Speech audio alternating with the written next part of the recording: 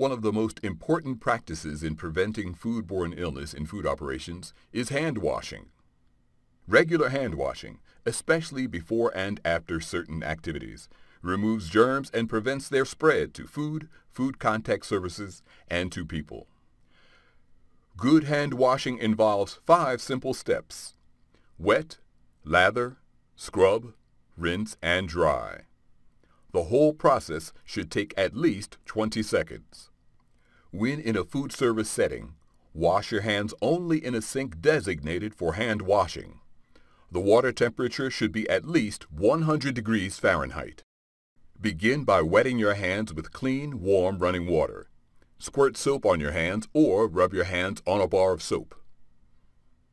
Lather your hands by rubbing them back and forth together.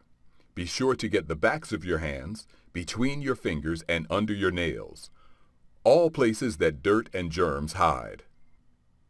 Scrub your hands and arms vigorously for at least 10 to 15 seconds.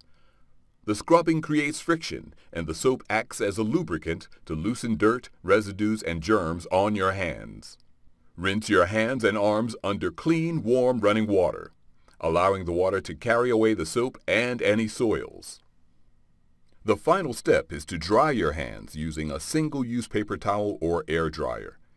If drying your hands with a paper towel, use that to turn off the faucet. So when should we wash our hands? When entering into the food preparation area. After changing tasks, especially after working with raw foods and before working with ready-to-eat foods. After using the restroom. After blowing your nose, coughing, sneezing, or touching any body parts, including hair, ears, and nose. After touching or treating a cut or wound. After clearing tables or bussing dirty dishes. After eating, drinking, smoking, chewing gum or tobacco. After handling garbage. After handling chemicals such as cleaners, polishes, or lubricants. After handling money.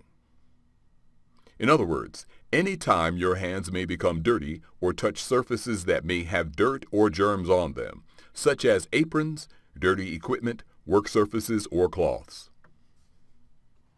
If you work with or around food, hand sanitizers never replaced hand washing. They are used only in addition to proper hand washing. Only use hand sanitizers that are approved for use in food operations and use according to directions. If you choose to use a hand sanitizer or antiseptic, use it after washing your hands.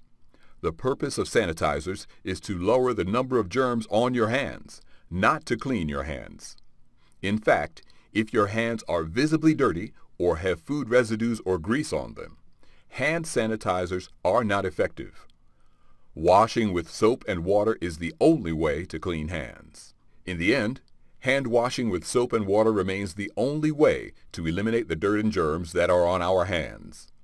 Just remember to wet, lather, scrub, rinse, and dry to prevent the spread of germs to the foods we prepare and serve.